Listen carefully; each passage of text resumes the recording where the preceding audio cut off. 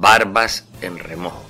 Los huérfanos del poder y los que votaron por Fico y por el exalcalde de Bucaramanga están que brincan en una pata por el resultado catastrófico del plebiscito de los chilenos y creen que Colombia encontrará alguna manera idéntica para disque hacer lo mismo con Petro. Andan orinando fuera del beque. La derrota de Boric es apenas una media derrota y no es tampoco un retorno al pinochetismo como tan groseramente lo afirmó nuestro presidente Petro. Es solo la pérdida de una herramienta fundamental para sostener un gobierno débil como el de la izquierda chilena y una forma casi milagrosa de no contar con ese bodrio de constitución que los diletantes zurdos redactaron y más bien de poder construir una intermedia entre la que rige desde el dictador Pinochet a esta cargada de tantos alamares y mal copiada de la vigente actualmente en Colombia, que es un sancocho y nos resultó carísima. Por supuesto, Petro, después de este golpe chileno, no va a intentar convocar una constituyente en Colombia.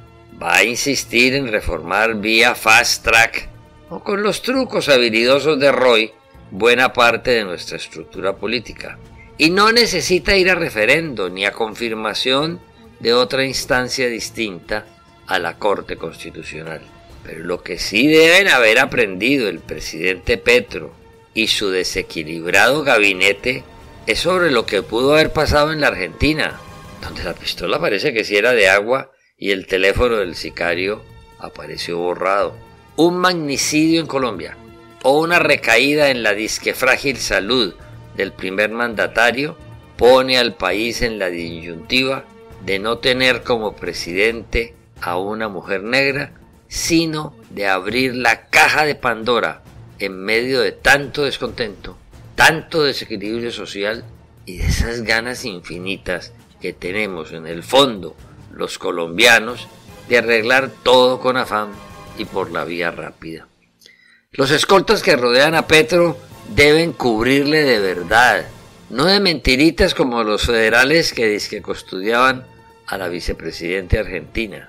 Los médicos que vigilan la evolución de la salud del presidente deben no solo vigilar los dolores de barriga que Petro dice tener, sino exigir moderación en la dieta y los excesos gastrovinícolas del jefe de la Casa de Nariño. Echar el cuento de que con el alacrán azul de Cuba le atajaron todos sus males ya no basta para la tranquilidad de un país que puede ir adelante dando traspiés, pero si al final encuentra de verdad la paz total, estará satisfecho.